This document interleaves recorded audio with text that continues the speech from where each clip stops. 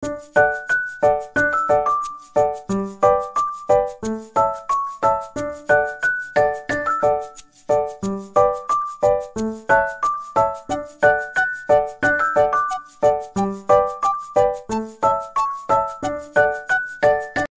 আলাইকুম everyone, welcome back to Sumai everyone blog. আশা করছি সবাই ভালো আছেন, আমরাও আলহামদুলিল্লাহ ভালো আছি। তো চলে এসেছি নতুন আরেকটা ভিডিও নিয়ে। ভিডিওটা অনেকটাই ছোট। আশা করছি আপনাদের ভালো লাগবে। তো আজকের ভিডিওতে শেয়ার করছি পঞ্চম রোজে আমরা কী কী করেছি, সেহেরির জন্য, ইফতারের জন্য, সেটাই। তো ভিডিও শুরুতে দেখতেই পেয়েছেন আমি রোল আর সমোচা বানানোর জন্য ভিতরে পোরটা রেডি করেছি। তো ওখানে মাংস, তারপরে গাজর, পেঁয়াজ, কাঁচামরিচ ওগুলা দিয়ে ভেজে নিয়েছি। এই তো ভাজা হয়ে গেছে আমার রোলগুলো। ইফতার রেডি করে নিয়েছি। চিজ আর চিকেনের পুর দিয়ে চিকেন বান বানিয়ে নিয়েছি। কতটা চিজি লাগছে। আর আজকে আমি যে ভুলটা করেছি রোল সমোচা বানানোর ক্ষেত্রে আমি ঠান্ডা পানি, লবণ দিয়ে আটার ডোটা করে রাখি। তারপরে সমোচা বা রোল বানাই। কিন্তু এবারে হয়েছে কি, আমি ইউটিউব ভিডিও দেখে আমরা যেরকম পিঠার জন্য ব্যাটার করি, পাতলা, ওরকম পাতলা ব্যাটার করে তারপরে রুটি বানিয়ে বানিয়েছিলাম।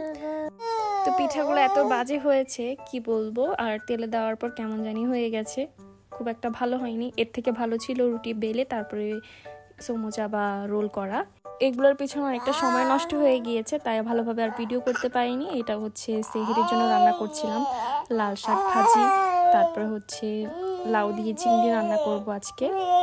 তো শাক ভাজিটা হয়ে গেছে এখন লাউ আর চিংড়ি রান্না করার জন্য।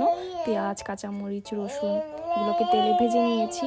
এখন চিংড়ি মাছগুলো দিয়ে দিচ্ছি। এ রান্না আসলে শেয়ার করার মতো কিছুই না। তারপর আপনাদের সাথে কথা বলার জন্য শেয়ার করছি আর কি। ইফতারের আগে মনটা অনেক বেশি খারাপ হয়ে গিয়েছিল। রোল আর সমোচাগুলো সুন্দরভাবে হয়নি। আমি সমোচাটা অফ ক্যামেরা রেখেছি। সেটা অন্য কোনো দিন ভাজলে আপনাদের সাথে শেয়ার করব কেমন হয়েছে দেখতে। পরে আমি আবার রুটি পেলে তারপরে কিছু সমোসা তৈরি করে নিয়েছি। যেহেতু আমি অনেকগুলা পুর রেডি করেছি, তো এগুলো তো আর অপচয় করা যাবে না। কোনো না কোনো কাজে লাগাতে হবে। তাই, আর সোফি আজকে অনেক বেশি ডিস্টার্ব করতেছে। আপনারা তো এই কয়দিন ধরে আমার ভিডিওতে ওর ভয়েস ওভার শুনতে পাচ্ছেন।